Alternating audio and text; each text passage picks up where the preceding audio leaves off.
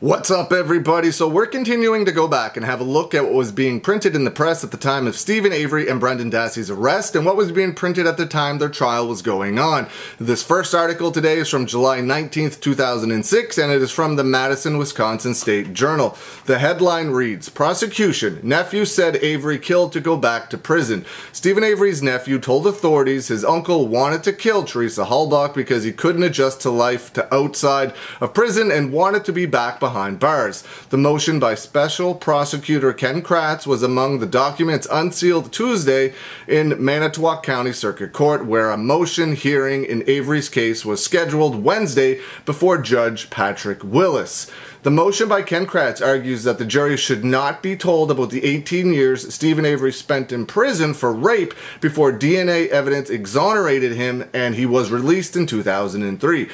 But Dean Strang contends evidence about Avery's time in prison cannot be ruled out if prosecutors require Brendan Dassey to testify about a related aspect. Dassey's alleged statements to authorities that Avery was unable to adjust after his release from prison and killed Halbach so he could go back. This next article is from August 10th, 2006, and it is from the Janesville Gazette.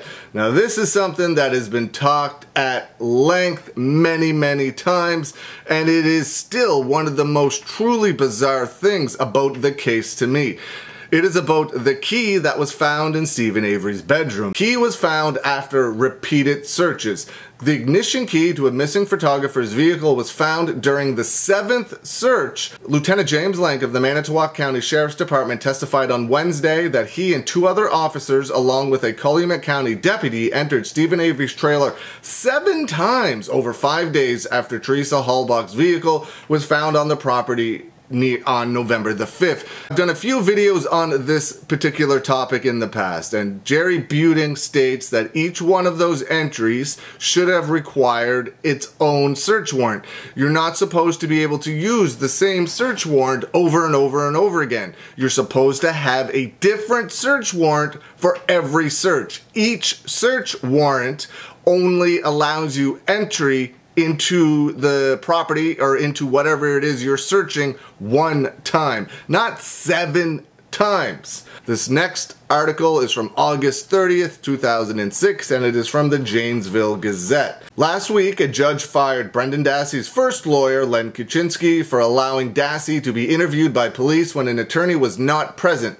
Dassey initiated the May 13th interview and told investigators he and Avery planned the abduction and death of Teresa Halbach several days before it happened.